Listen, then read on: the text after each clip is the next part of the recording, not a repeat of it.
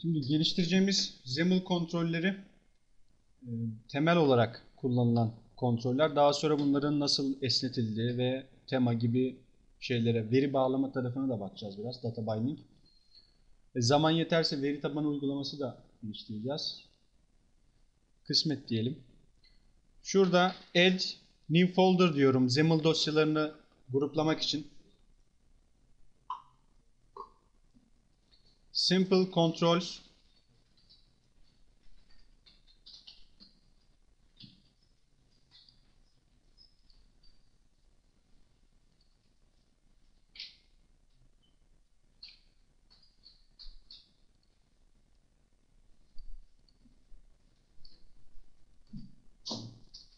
Bunun için benim benim örneklerde kullandığım bir e, JPEG dosyası var. Onu yeni bir klasör açarak Files klasörü altına atıyorum. Siz de şu şekilde bir buton bulabilirsiniz internetten. Herhangi bir JPEG de olabilir. Boyutu çok boyutu çok büyük olmasın. Help buton diye aradığınız zaman bu tür şeyler çıkıyor. Hazırda duymamazlıktan geliyorum. Yani benim yapacağım bir şey olmadığı için orada.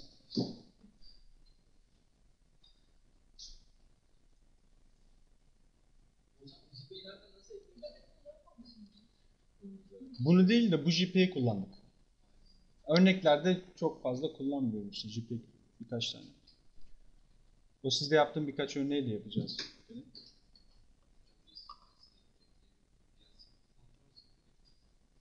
Ee, bir file klasörü aç. Sonra JPEG indirdiysen kopyala bunun içerisine üzerine gel yapıştır. Ya da add existing item. Şunu da yapabilirsin. Ya orada bir JPEG olsun da ne koyarsan koy. Kendi vesikalık fotoğrafını koy.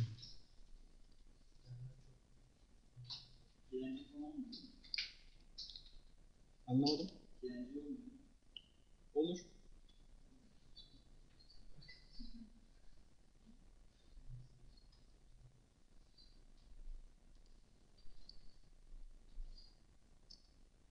Herhangi bir ko- e, resim koyabilirsiniz. Sorun yok. Simple Control içerisinde yeni bir window açıyorum. Bunun adı Tooltip Sample Window.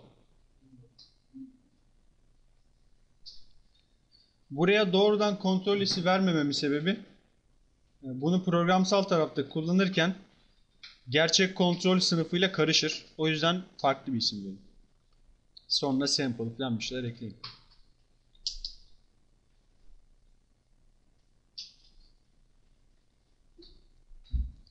Buton hiyerarşiyi bozmamak için açar açmaz şunun sonunu kapatın bu şekilde. Yoksa kendisi hata verecektir zaten.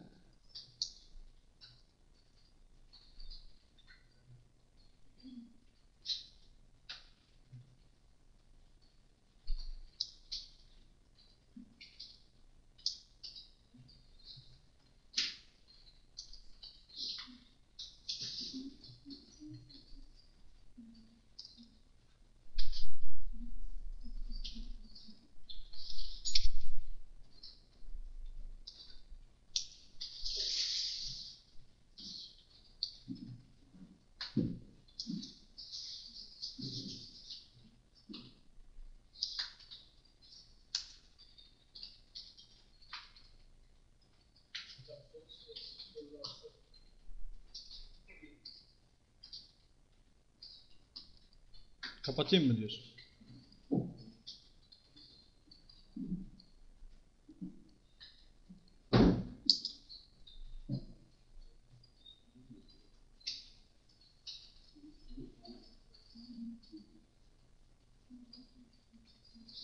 Bir tane daha buton.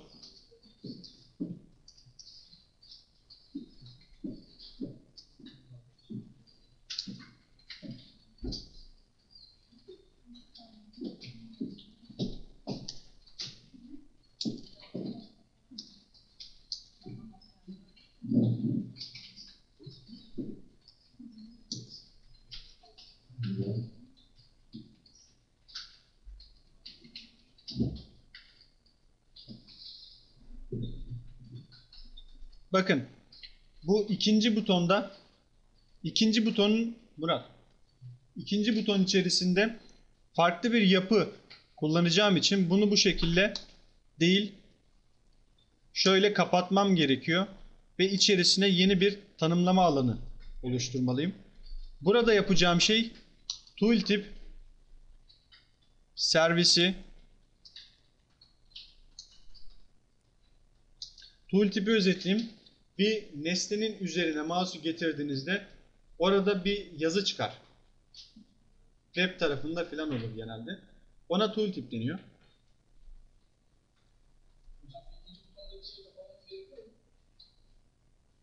Üsttekini mi?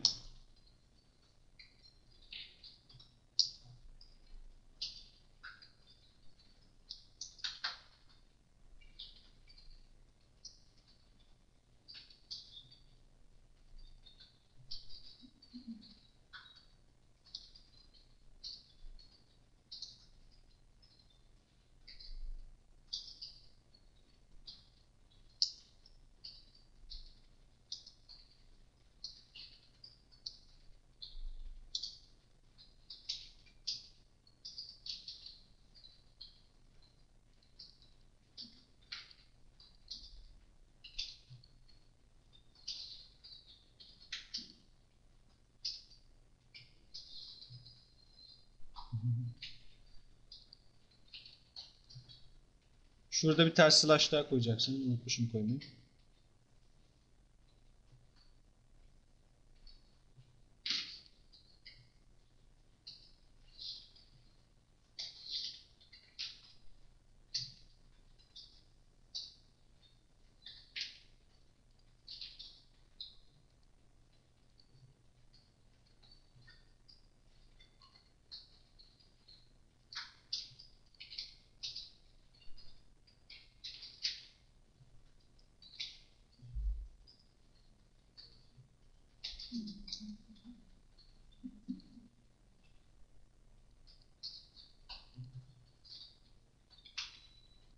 Çalıştırıyorum.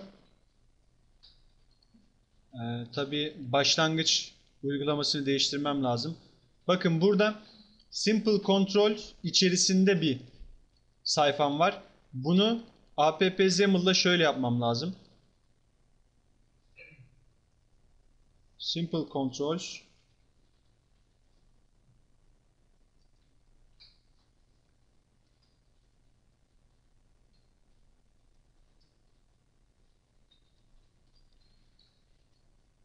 Şuraya bakın sonra eksi tamamlarsınız. İki tane buton var. Bunun üzerine geldim. Tooltip olarak yazdığım metin göründü. Alttakinde de resim koymuştum. Bunu gösterebiliyorum. Tooltip'in amacı budur zaten. Buton üzerinde ya da herhangi bir nesnede bu istediğim açıklamayı koyabiliyorum.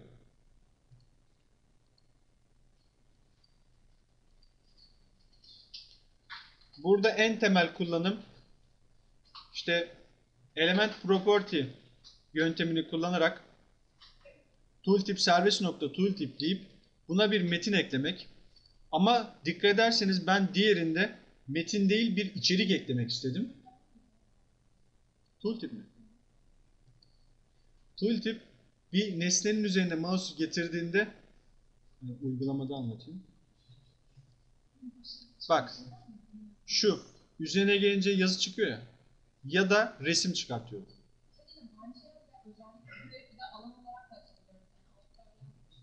Evet onu anlatıyorum şimdi. İlkinde sadece bir metin açmak istiyorsanız yazmak bu yeterli. Bu yöntem. Ama eğer o tooltip içerisini özel olarak tasarlamak istiyorsanız resim olabilir, video vesaire o zaman bu şekilde butonun nesnenin içerisine girip burada tool tipinde alanını açıp içerisinde stack panel ya da herhangi bir layout kontrolle. Dikkat edin. Bakın.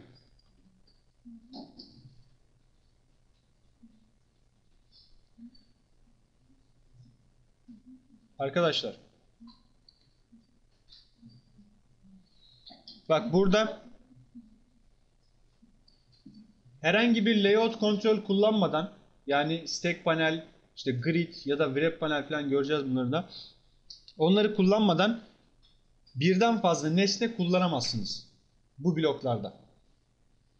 Burada birden fazla nesne var. Diyor ki o zaman senin buraya özel bir layout kontrol açman gerekiyor.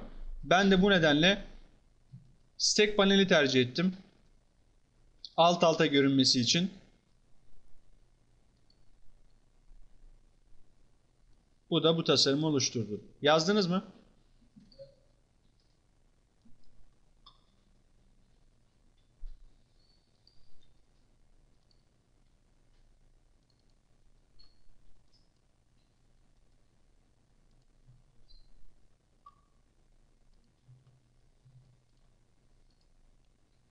Şimdi Simple Control'de bir tane daha Zemul açalım. Adı Toggle buton Sample Toggle yanlış yazmışım. Şöyle.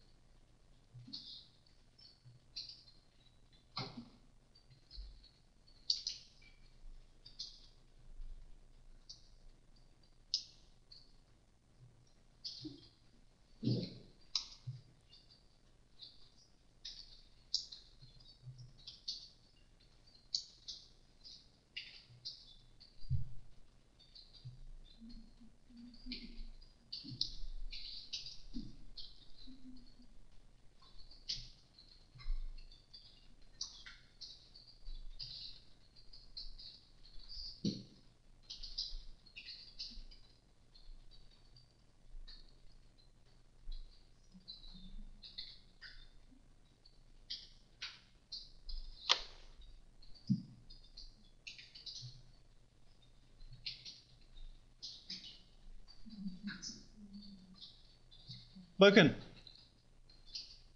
Toggle butonda dikkat ederseniz bir name belirledim. Başında X var. X nereden geliyordu? Evet şu tanımlamadan geliyor. Bunun adını X, Y, Z ne olursa verebilirsiniz ama genel standart Xabel'in X'i. Bunun içerisinde name özelliğini kullandım. Ancak normal yukarıdaki namespace'ten gelen name özelliğini kullanabilirdim. Herhangi bir sıkıntı yok.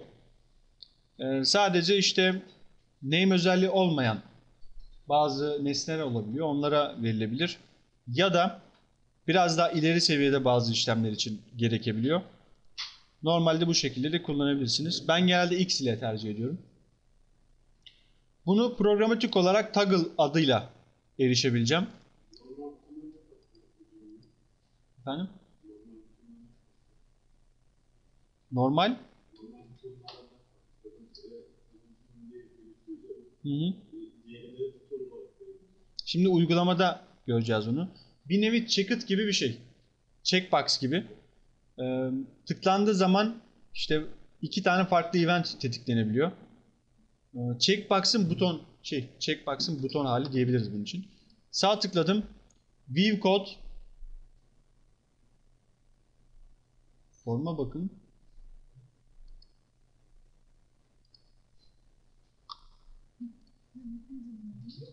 Yok. Bir şey anlamadınız mı? Bana bakıyorsunuz. Şimdi normalde ben bunun üzerine çift tıkladığım zaman arka tarafta herhangi bir nesneye event oluşturur. Yani nesnenin eventini oluşturur. Geldim buraya. Şurada hmm, properties kısmında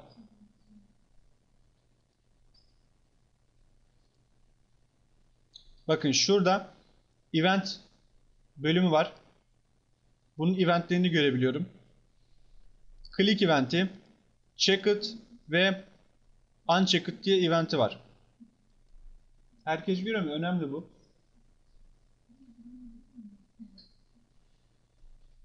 Önemli burası.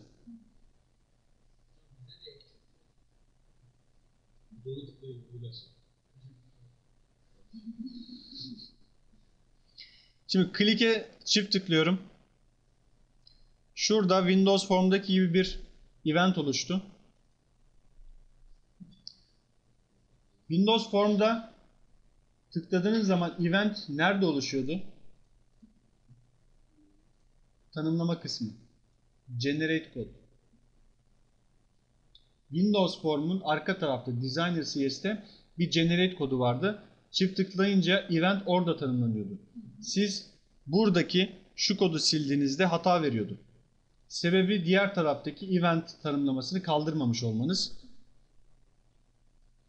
Şimdi burada da daha farklı sorunlar olacak. Onları açıklayacağım şimdi.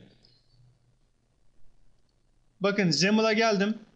Click eventiydi. Click'in toggle click diye bir e, metodu oluştu diyebilirim. Bir event metodu var. Bunu arka tarafta toggle click olarak tanımladı kendisi. İkili buton gibi bir şey. Yani üzerine çift tıklayın. e, bir kere tıklayınca bir işlem yapıyor. Checked. İşte bir daha tıklayınca unchecked gibi bir eventi var. Bunları tetikliyor. Burada e, bu yöntemi kullanmamanız gerekiyor. Yani üzerine çift tıklayarak ya da işte şuradaki e, properties'teki eventleri falan kullanarak yapmamanız lazım. Sebebi şu. Siz VPF'de uygulama geliştirirken sizin yani bu uygulamanın genel amacı e, VPF'i tasarımcının geliştirmesi XAML tarafını, sizin yazılım tarafına bakmanız. Mimarinin bu şekilde oluşturmasının sebebi bu. Siz bunu oluşturduğunuz zaman birçok event olacak. İşte birçok olaya karşı e, tetiklenmesi gereken şeyler. Bazen 3-5 tane event olabilir. Tasarımcı bunun tasarımını yaparken şuradaki click eventi içerisindeki herhangi bir karakteri silse sizin bu butonunuz artık çalışmayacak hale gelecek.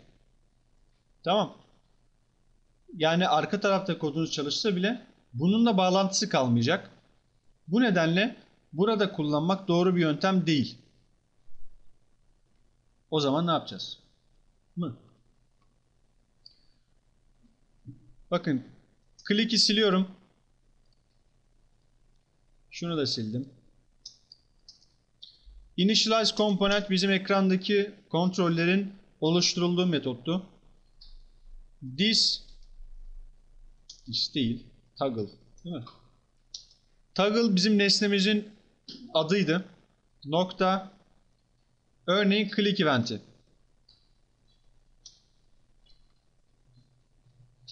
Bu şekilde kullanmanız gerekiyor. Daha az hasarla hataları minimi, minimize etmek için.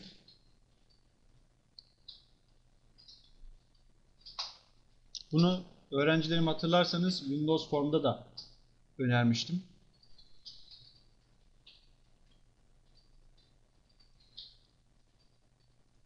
Bunu yaptığınızda artık tasarımcı XAML'ı istediği kadar değiştirsin. Sizinle hiçbir bağlantısı yok. Tek bir bağlantı var. O da bu nesnenin name'ini değiştirmemesi. Yani siz tasarımcıya sadece şunu diyeceksiniz. Bunun name özelliklerini değiştirme, gerisini ne yapıyorsan yap. Hiç sizi bağlamaz. Yazılım tarafını etkilemez.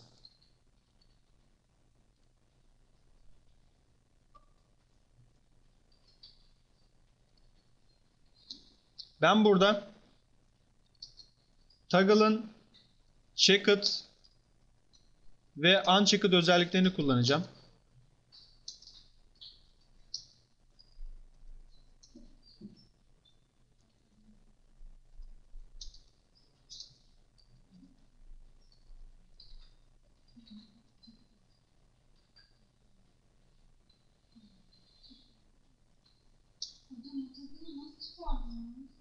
Name name name özelliğine isim verdim.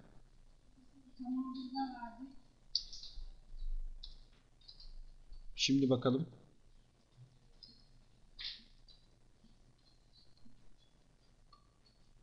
Şöyle mi? Evet. Ciddi olan.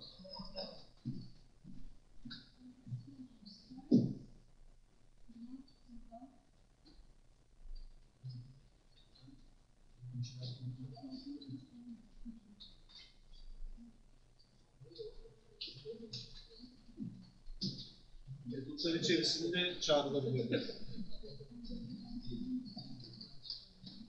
Murat. Arka tarafa mı geçmek istiyorsun? Tamam sessiz yapın.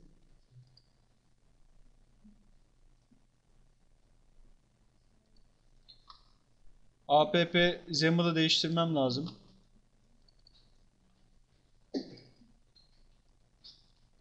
Toggle buton sample.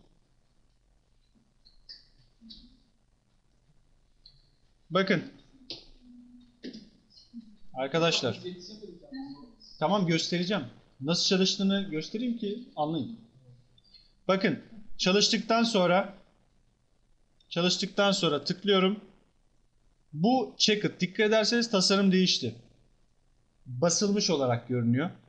Tekrar bastığımda değişti. Kutu işareti kaldırıldı. Toggle butonun amacı budur aslında.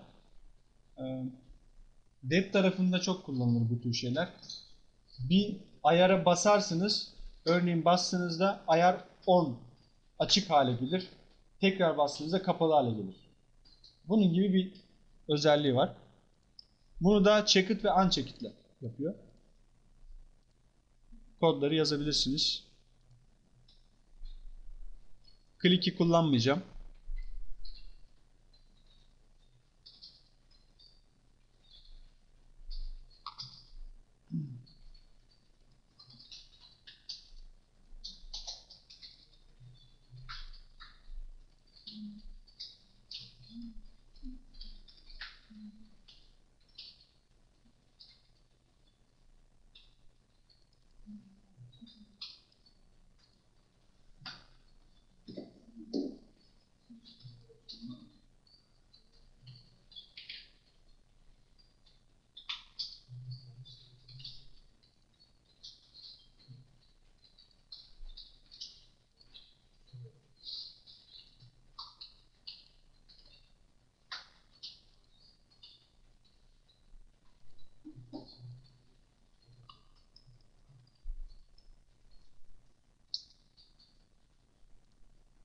Devam.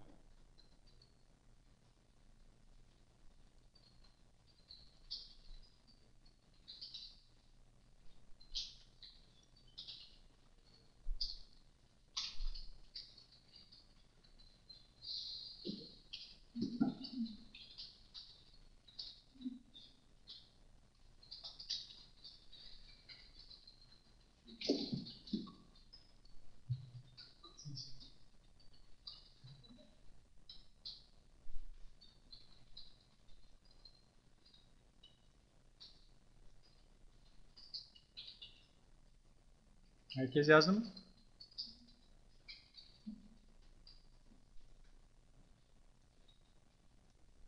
Yazdık olarak kabul ediyorum.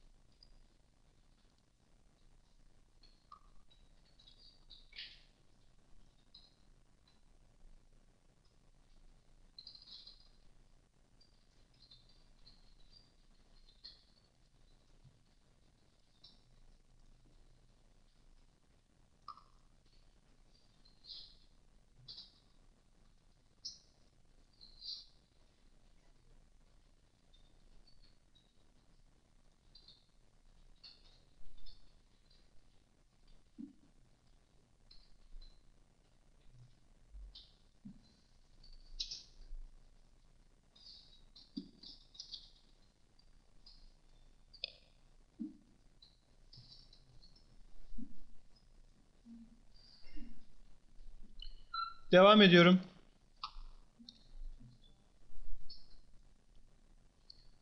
Beni izleyin. Kapatıyorum takılı. Burada repeat buton diye bir farklı butonumuz var. Bu da Butona basılı tuttuğunuz zaman belirtilen işlemi, işlemi sürekli yapan, tekrar tekrar yapan bir buton.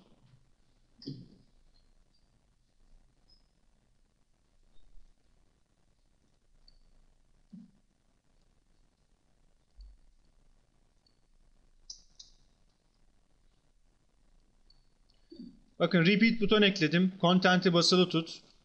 Ee, bu çok önemli değil.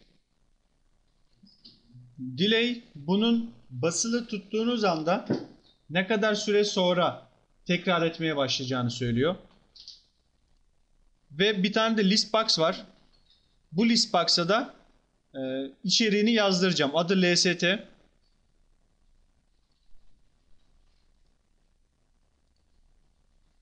Kod sayfasına geldim.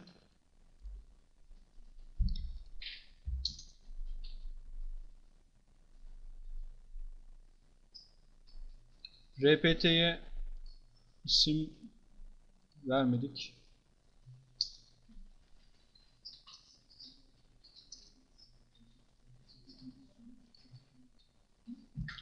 RPT klik diyorum ki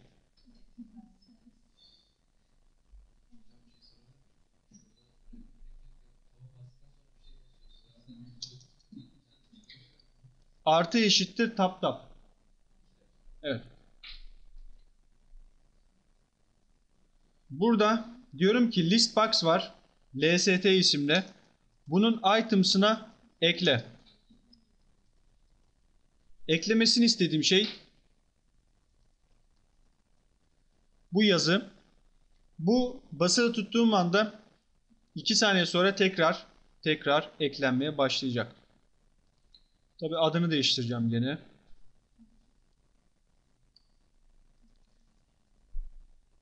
Repeat buton.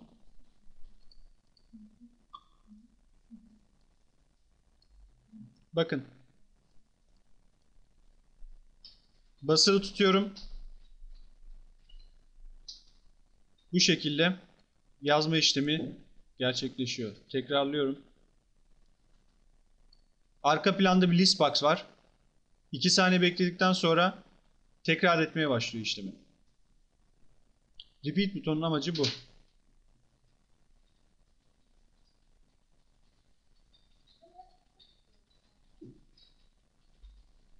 Üç saat var. Çok fazla konu anlatmam gerekiyor. Hazırlık yaptım.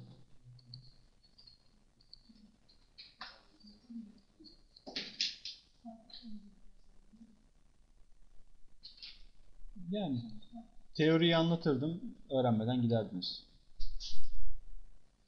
Hoş geldiniz.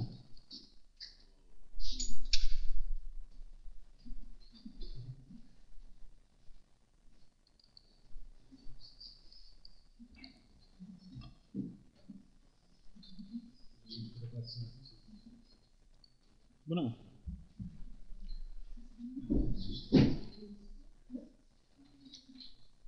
Şimdi önemli kontrollerden devam edeceğiz. Bu çok sık kullanılan list box, combo box gibi. Simple kontrol içerisine yeni bir window adı list box sample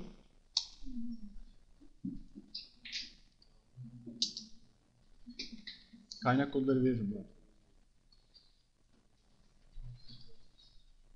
List box oluşturuyorum. Buna programsal bir isim veriyorum xname ile. Adı lst. Vid 150. Height de aynı. Bunun içerisinde listbox item eklemem lazım.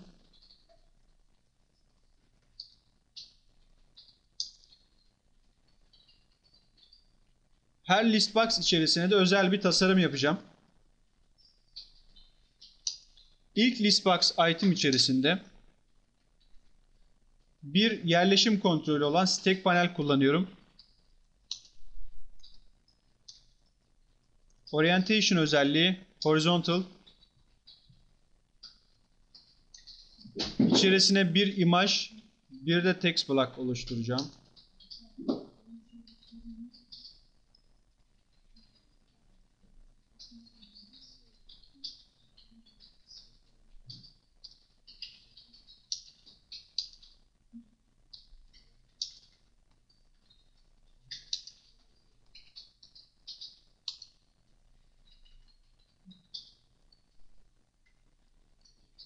Yukarıda tasarımı görmeye başladık dikkat ederseniz.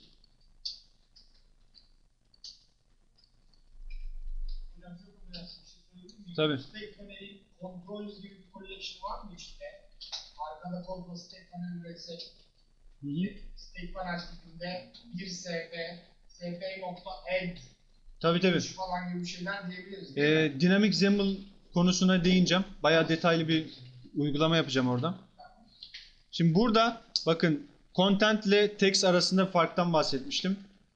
Hemen hemen tüm kontrollerde content var çünkü içeriğini özel olarak tasarlayabilirsiniz. Content gördüğünüz nesnelerin. Ama burada text var. Text block'ta. Çünkü yaptığı tek şey label özelliği. Bunun içinde sadece e, bir metin alabiliyor label haliyle. Bu nedenle text özelliği var.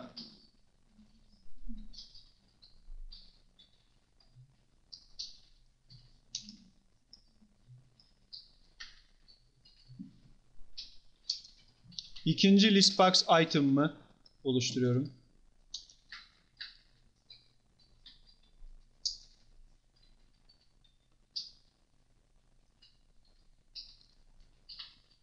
Bunlara da checkbox ekliyorum.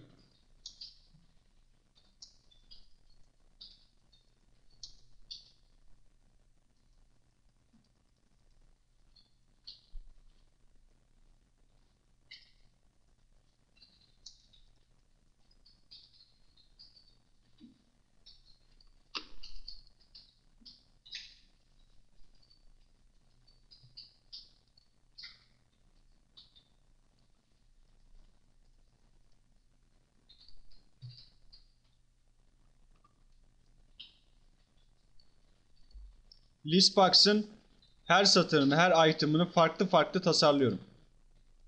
İkinciye, üçüncüye tıklarsanız checkbox görevi. Diğeri ise sıradan bir kontrol gibi davranan e, stack panelle yaptığım özel bir tasarım. Buraya isterseniz buton oluşturabilirsiniz. Farklı farklı nesneler oluşabilir.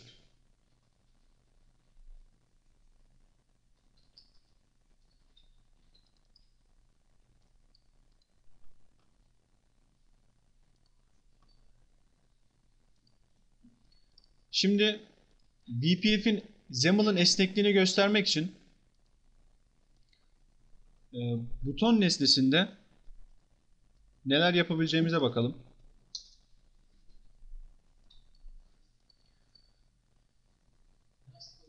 Buton sample. Şurada temel kodları tekrar yazmamak için butona çift tıkladım mı en temel haliyle kodları yazar.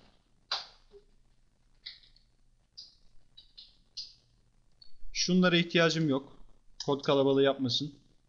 Sadece hate yazmam yeterli.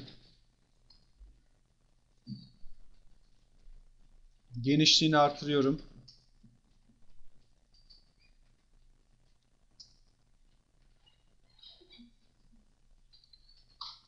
Yüksekliği 50. Bunun içerisine özel bir tasarım yapacağım.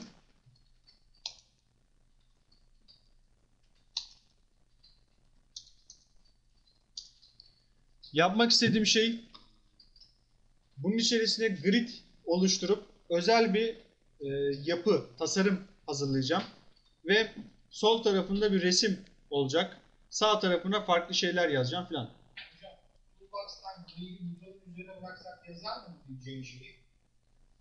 Grid'i butonun üzerine mi? Evet. Yani şu an? Şuraya boş bir boş bir grid oluşturur. Onu demeye çalışıyorum. Evet. Atar değil mi butonun Tabii. içine? Üzerine hı. bıraksam. Tabii tabii. Bunun bir hiyerarşisi var hocam. Bakın şurada Document Outline diye bir oraya Yapı var. olur yani değil mi? Bakın burada şunu diyor. Herkes baksın arkadaşlar. Bir window var. Window içerisinde grid. Grid içerisinde de buton nesnesi olduğunu gösteriyor. Ben bunu doğrudan window'a götürüp bıraktığımda artık buton window içerisinde. Bakıyorum. Buton window'a gelmiş. Bu hiyerarşiyi takip etmek zordur VPF'te. Çünkü XAML iç içe bir yapıya sahip. Ee, Yani 10 tane kontrol içerisinde küçük bir kontrol yapabiliyorsunuz. Bunu takip etmek için böyle bir yapı şarttı. Bu da Out- Outline sayesinde yapılabiliyor. Geri alıyorum Ctrl Z ile.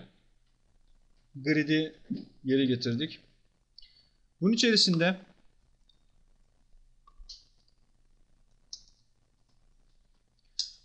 yeni bir grid oluşturuyorum.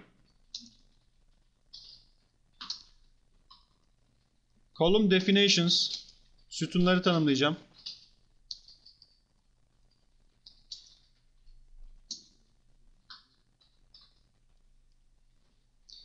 Bakın hata veriyor. Buton içerisinde yapamıyorum bunu. Sebebi doğrudan butona değil, butonun kontentine yapmam gerekiyor. Bu nedenle bir özellik daha açıyorum. Tekrar hata verecek. Sebebi yukarıda kullanıyorum bunu. Silmem lazım.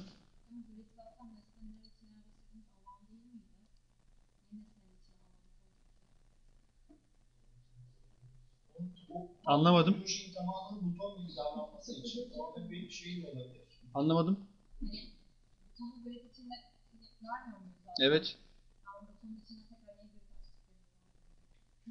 Ana- buton gibi davranması.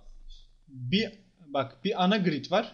Onun içerisinde istediğin kontrolleri tasarlıyorsun. Ben buton kontrolünde özel bir tasarımla yapmak istiyorum. Özel tasarımı yapan, hiyerarşiyi sağlayan şey de grid kontrolü. Yani buton içerisinde özel bir tasarım yapacağım. Bakın yapıştırdım buraya.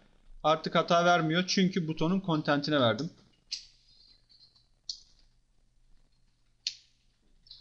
Row definitions. Buraya da satırlar tanımlamam gerekiyor. İki tane olmasını istiyorum. Altta üstü yazı yazacağım. İlk sütunum sol taraftaki resim içerecek. Bu nedenle width'ini 50 yaptım. Satırların yüksekliğini de öncelikle butonun yükseklik ve genişliği ile benzer olması gerekiyor. Mesela yükseklik 60 ise ben 30-30 bölebilirim. Satırlar 30 olsun.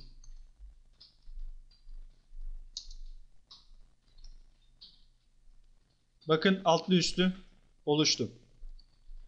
Sol taraf 50 e, genişliğinde ise diğer tarafa 120'den kalanı vereceğim.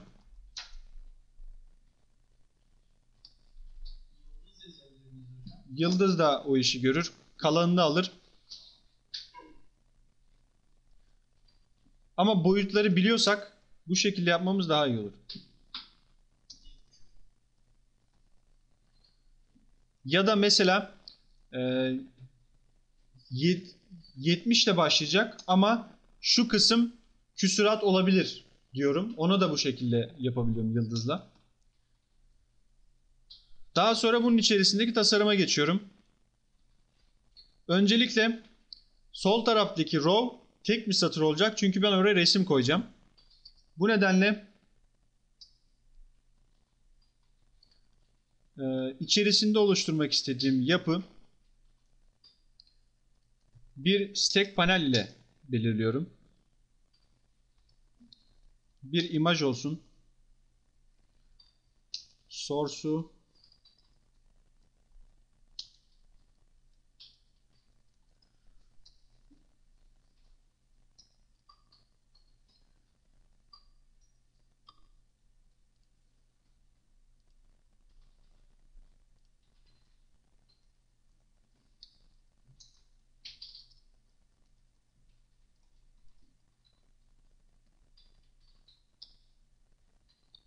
dosyayı gördü. Buna yükseklik ve genişlik vermem gerek.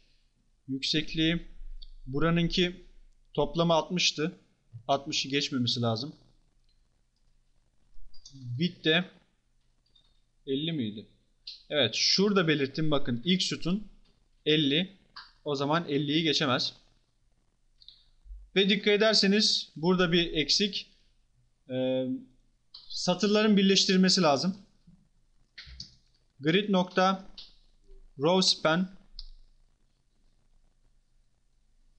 hmm, birleştirmedi.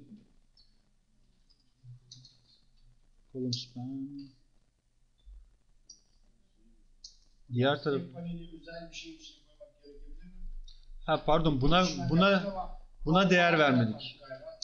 Evet buna 0 verip e, row'una da 0 Hayır olmadı. Hmm. Ha buna vermem lazım span'i.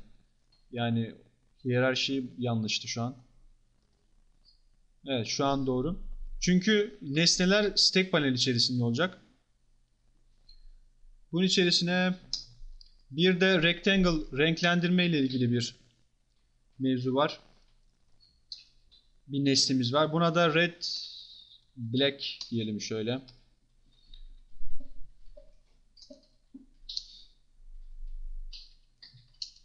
Margin 3 kenarlıklardan uzunluğu uzaklığı. Height de 4 olsun. Burada yüksekliği artırmam gerekecek tam görebilmem için. 70 İmajın yüksekliği iyi. Ama 55 yaparsam net hatta 50 ile net görebileceğim. Ee, burası yeterli. Şimdi sağ tarafta iki tane satırım var. Onlara bir şeyler yapayım. Onun için de sıradan text block açıyorum. Text üst yazı Ee, bir de gerek yok. 8 30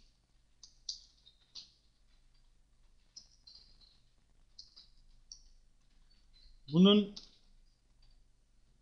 Grid'deki yerleşimini belirlemem lazım. Grid yerleşimi 1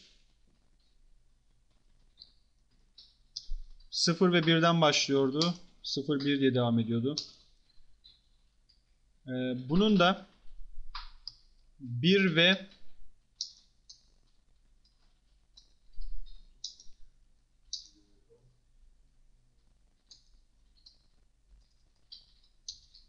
Row'unu da 1 yapmam gerekiyor. Bu şekilde bir uygulama yapabiliyorum. Şuradan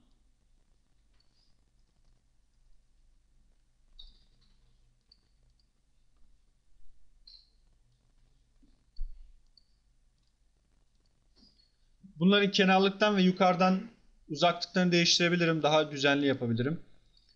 Örneğin text block margini soldan 5, yukarıdan 5, sağ ve alt önemli değil dediğimde şöyle bir düzen oluştu. Aynısını alta yaparsam istediğim oluşur. Buradaki mantık şu. Yukarıdaki üst yazı sol ve e, üstten 5 piksellik bir uzaklık sağlıyor. Alttaki de yukarı doğru aynı şekilde işlem yapıyor. Bu nedenle bunun altına 5 vermem doğru bir yöntem değil. O uzaklığı 10 piksele çıkarır. Buna göre hesaplanması lazım. Buna yazmıyorum. Alttaki onun üst değerini veriyor zaten uzaklığını. Şöyle biraz daha güzel oldu.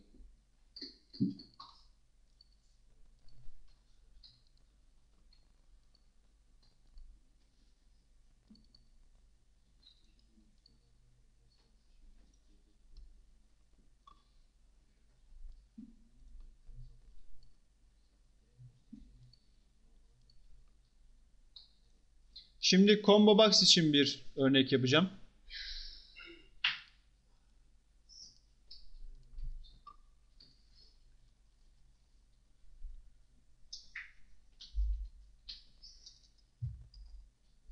Combo box yazmaya çalışıyorum.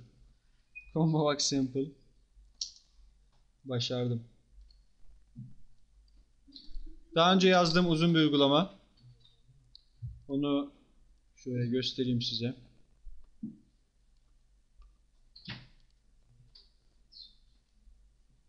Yetişemezsiniz YAML'da. Maalesef.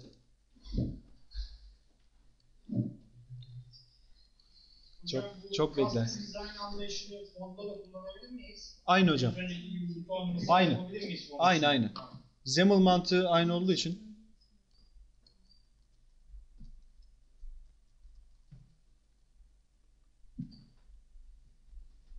Bakın Combo Box'ta istediğim tasarımı yaptım. Butonumuz değişmedi gene. Gene ben yapmıştım. Ee, burada özel bir tasarım. Burada da örneğin bir checkbox koyup Combo Box içerisinde checkbox yapabilirsiniz gibi. Bunun içerisinde bir grid var sonuçta. Özel bir tasarım olması gerekiyordu.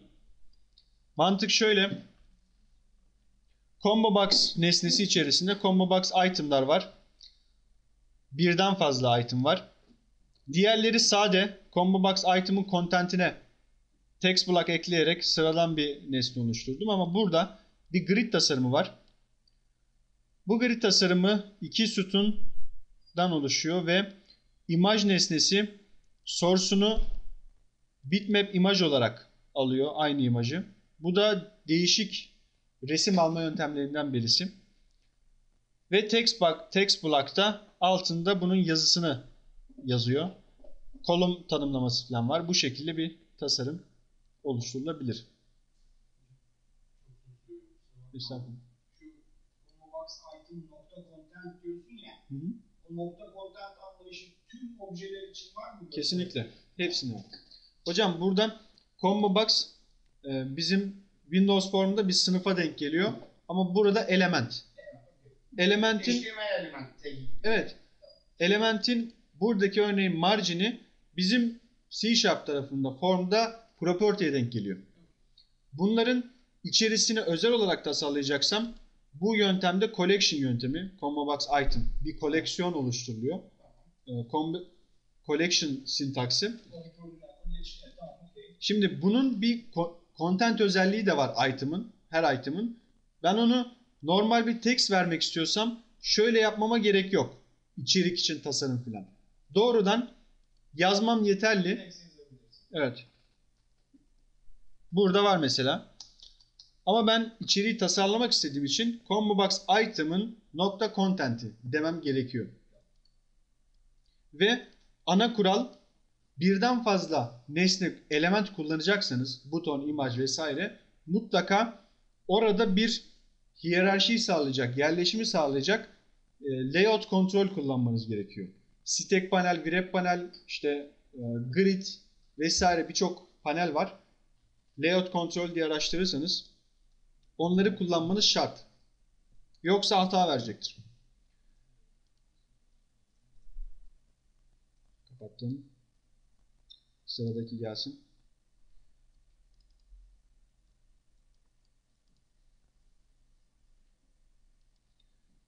Evet sıradaki şarkıyı sizlere. Şimdi bir de date picker yapalım.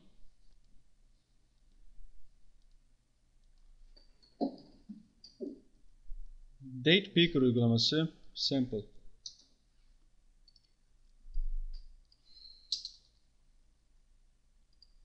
Işık hızıyla kod yazarım. Yazdığımı bile göremediniz. Notlarınızı daha vermedim. Ee, buna bir isim verdim. Ne ara verdim bilmiyorum. Vermiştim. Selected date change yani e, bu kodla bu tarih değiştiği zaman her değiştiğinde bu işlemi yap. Öncelikle itemları clear'le sil sürekli. Sonra da okus pokus böyle yap. Ve date picker'la Fokus fokus. Bakın. Seçiyorum. Ne yaptım ben ya? Müthiş. Daha neler var?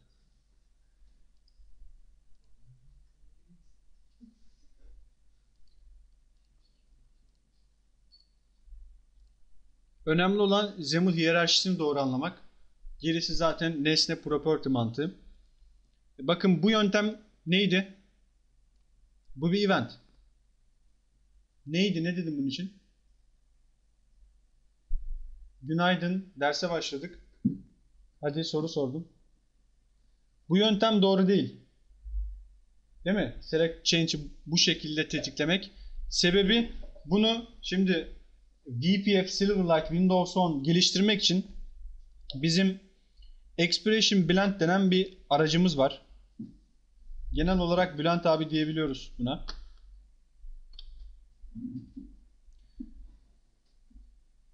Açıyorum şu an. Başaracak. Eminim başarır.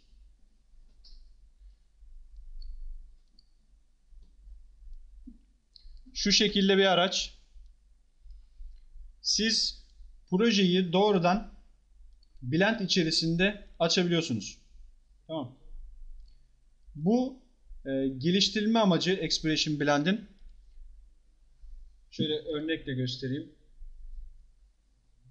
New Project diyorum mesela. Şurada New Project VPF ya da Silverlight uygulaması geliştirebiliyorsunuz. Şuradan. Windows Phone eklentisi de var. Onu da yapabiliyorsunuz. Ee, bunu VPF'i seçtim. Şurada dil ve framework versiyonu var. Bunun amacı VPF ya da Silverlight'ı XAML geliştirmeyi tasarım tarafına yıkmak ve tasarım için editör oluşturmak. Yani tasarımcı adam doğrudan bunu kullanarak bir Photoshop'ta tasarım grafik oluşturur gibi bir XAML oluşturabilir. Nesneleri kullanarak animasyonlar yapabilir. Kod bilmesine gerek yok. Bu kod üretir arka tarafta. Ama kod bilmek şart değil. Çok büyük kolaylıklar sağlıyor. Animasyonları yapabiliyorsunuz. Oyun vesaire de olabilir. Bunları yapıp doğrudan örneğin şurada e, Edit in Visual Studio diyerek Visual Studio'da açıp değiştirebiliyorsunuz. Şu an şöyle bir problem var. E, en son değiştirdi mi bilmiyorum. Fix edildi mi bak. E, Expression Blend 4 ile Visual Studio 2012 uyumlu değil. E, şu an için Visual Studio 2012'de bunu göremeyeceksiniz. Mesela normalde sağ tıkladığınızda burada Edit in Vis- Expression Blend yazar ya da Edit Blend yazar. E, bunu görmeniz için artık şu an 2010'da. Yani şu an açtığım şey 2010'da açtım. Normalde burada uygulamayı yaptınız ama tasarımda Blend'e ihtiyacınız oldu. Bunu sağ tıklayıp o şekilde yapıp direkt Blend'de açabiliyorsunuz projeyi. Tek bir proje. Burada değişiklik yaptınız, kaydettiniz. Blend uygulaması açıktı zaten. Onu görünür hale getirdiniz. Minimizeden maksimize ettiniz. O zaman buradaki değişiklikleri otomatik olarak algılayıp şöyle bir değişiklikler listesi yapıldı. Bunu kabul ediyor musun? diyor. Siz de bunu e, save all change falan diyorsunuz işte. Bütün değişiklikleri uygula. O zaman Blend içerisinde de aynı şekilde o ayarları yaptığınız değişiklikleri doğrudan görüyorsunuz. Birlikte çalışabiliyorsunuz. Şu an için 2013'ü desteklemiyordu en son. Ee, ne oldu bilmiyorum ama ben doğrudan burada açtım. Bakın bu 2010. Şurada yaptığım işlem bir tane buton ekleyeyim. Ne iğrenç bir şey. Grid'i açmış. içerisini açmamış.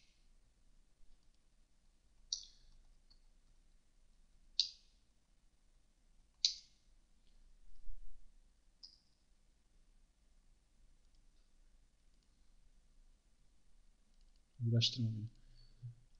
Oluşturdum. Şimdi Blend'i açıyorum. Bakın değişiklikler var bu XAML'da. Yes dediğim zaman buton geldi. Şurada. Bu şekilde koordineli çalışabiliyorsunuz. Ee, Burada animasyonlar falan yapılabiliyor. Ee, Şu an onlara girmeye vaktimiz yok. İşte workspace var. Design mı? Yoksa animasyon modunda mı? Buradayken bir storyboard oluşturup animasyon yapabiliyorsunuz. gelişmiş animasyonlardan bahsediyorum. Ee, Flash'la yapabildiğiniz her şey. Fazlasını yapabilirsiniz. Bunların tetiklemeleri var, eventler. Mesela bir top atı, top atma animasyonu. Topun grafiğini yaptınız işte. Ee, o top sürekli havada dönüyor olması lazım. Animasyon gerçekçi olması için. Bu tür işlemleri örneğin buradan başla bitim kısmını gönderiyorsunuz. Bu bir saniyede olsun diyorsunuz mesela. Buradan buraya geçiş. Bunu yapabiliyorsunuz çok rahatlıkla. Sadece sürükle bıraklarla yani. Ee, ıvır zıvır birçok şey var. Zamanımız olursa onları yapabiliriz. Kontrol animasyonları timerlarla falan mı yapıyor hocam? Kod olarak yani. e, trigger mantığı hocam. Tamam. Ha mesela bir şey fade in, fade out dedik. Mesela opaktan gelsin, opaktan yok olsun falan gibi bir şey yapmaya kalkarsak timerla onun şey, bizim şeyin opasitesini falan mı değiştiriyor mesela? Öyle kodlar mı yazıyor mesela? Hmm, Mimari tarafına bakmadım ama e, Flash'la karşılaştırırsak Flash frame mantığına göre kare kare işliyor. 24 25 miydi? Kare. Evet. E. İşte burada mesela orada e, işletim sistemi vesaire işlemcinin hızına göre bir kare kaybı gibi durum olabiliyor. Çünkü frame üzerinden. Ama buradayken saniye üzerinden olduğu için hiçbir kayıp olmuyor. Saniye üzerinden gerçekleşiyor. Vektörel bir e, işlem. Vektör olayını da mesela şurada %100'ü 800 yaptım. Bakın çizgilerde hiçbir bozulma yok. Normalde noktaları görürdünüz. Ama vektörelde böyle bir avantaj var. İstediğiniz kadar zoom yapın. Bakın. Matematiksel bir hesaplama, vektörel tabanlı görsellik. Ee, bu şekilde bir uygulama geliştirmeyi destekliyor. Bu da müthiş tabii ki. Görsel tarafta. Ya Blend ayrı bir konu aslında. Çok detaylı animasyonlar falan yapılabiliyor dediğim gibi. Ama genel olarak olarak yapmak istediğim şey şu. Siz burada bunu tasarımcıya bırakıyorsunuz. Mesela şöyle bir iş vardı. Bir Windows Phone uygulaması. Büyük bir bankanın. Ee, orada danışmanlık yapıyordum. Ee, Blend ile geliştirilmiş Windows Phone uygulaması. Blend de başarılı bir şekilde yapılır. Hiçbir sorun yok. Ama yapan kişi XAML tarafına müdahale edememiş. Muhtemelen XAML bilgisi yeterli değildi. Ve projeyi tamamlayamamıştı. Öyle bir durum söz konusu. Orada benim avantajım ben XAML'ı iyi biliyordum. XAML müdahalesiyle Blend'i hiç kullanmadım. Doğrudan o şekilde proje tamamlandı. Siz iyi yaşa. Çok iyi yaşa. Hepimizle birlikte çok iyi yaşa. Şimdi bakın tasarımcının mantığı şu. Siz bunu seçtiniz. Burada birçok özellik var. İşte rengi şu olsun falan gibi şeyler. Ee, bunları tasarımcı görsel olarak iyi bir şekilde geliştirir. Ama bunun bir de programsal ayağı var. Bu butona bastığınızda örneğin kayıt işlemi yapacak. Form var, text box'lar falan. Sen buna bastığın zaman yazılımsal olarak istediğin şey aslında text box'lardaki veriyi alıp kaydetmektir. Tasarımcının amacı bunun çok görsel bir şekilde görünmesini sağlamak. İkisi çakışmadan bu mantıkla devam eder. Sorun yok. Ama tasarımcı özgüven patlaması yaşayarak diyelim buraya geldi. XAML'dan kodları değiştirmeye çalışıyor. Ve yanlışlıkla şunun butonun name'ini değiştirdi. Artık sizin yazılımınız çalışmayacaktır. Tamam. Yani event'e bağlı olmadığı için yazılım işlem görmeyecek. Bunun aynısı üzerine e, şurada eventler bakın event listesini buradan açabiliyorsunuz. Klik var. Ben kliki açtım. Dedim ki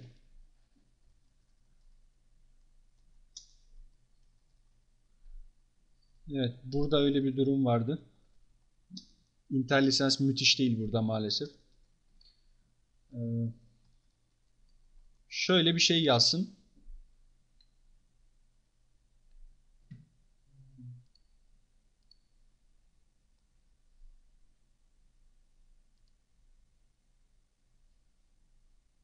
Ups. Ben edit mi yaptım ya?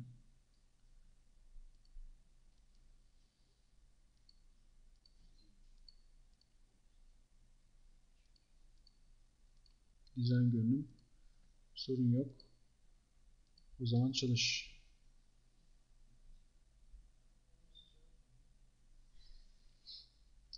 Ya sabır. Run project.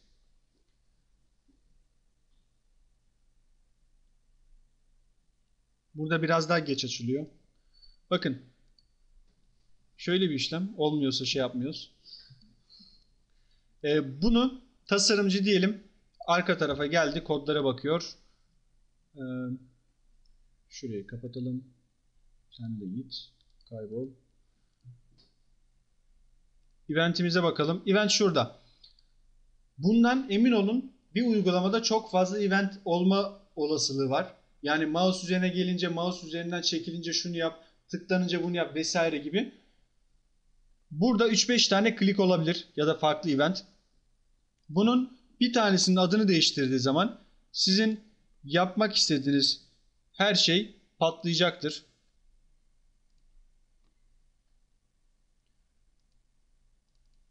Tabi burada e, editörden kaynaklı olarak izin vermiyor buna.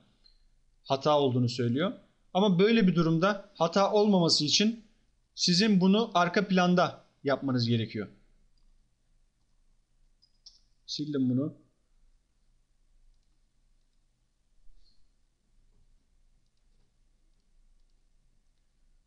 Project kısmında bunu olduğu gibi burada tetiklemem lazım. Buton 1 klik Bu şekilde yaptığım zaman hata olasılığı daha aza inecek ve Zemil tarafında daha az kod olacağı için karmaşa da önlenmiş olacaktır. Tamam? Blend ile ilgili şu an anlatacağım bu kadar. Ee, Temel olarak yazılımsal mantıkta böyle. Bakın buradaki değişiklikleri burada göstereyim mi diyor. Doğrudan geldi.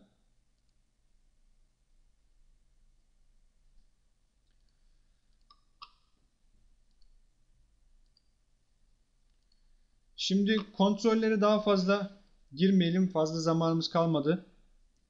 Artık incelersiniz. Yapıyı anlattım. Ee, bir de dinamik olarak nasıl zemin oluşturulur? Yazılımcı olarak bu önemli. Ee, bunun için iki yöntem var. Bakın. İki yöntemle yapabiliriz. Ya C Sharp tarafında Şunu kapatayım.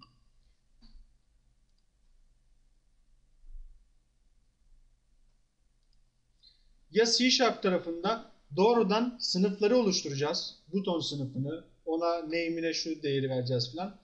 Ya da gene XAML yazacağız.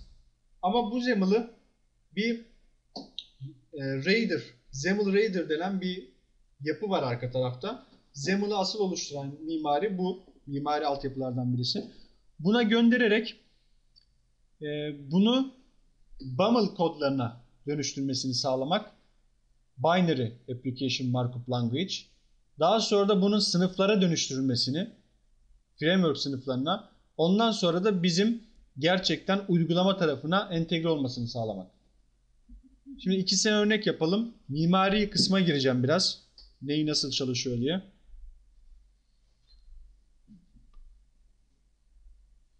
Copy paste teknikleriyle Evet çok gelişmiş bunlar. Müthiş. Ben buldum. Ama bunları yazmak için çok uğraştım. Ee, Mırıldanmalar geliyor oradan.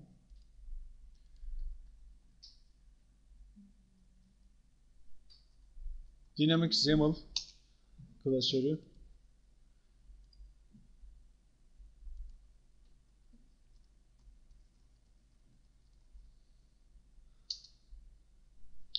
Dinamik XAML oluşturmak için ilk bilmemiz gereken şey dinamik XAML buradan yazılmaz. Ve yazıldıktan sonra herhangi bir şekilde göremezsiniz. Runtime'da çalışırken görebilirsiniz o nesneleri. Sağ tıkladım. View Code Şuradan load'unu açalım. Load işleminde diyorum ki bir şeyler çağıracağım. O bir şeyler şu bir şeyler.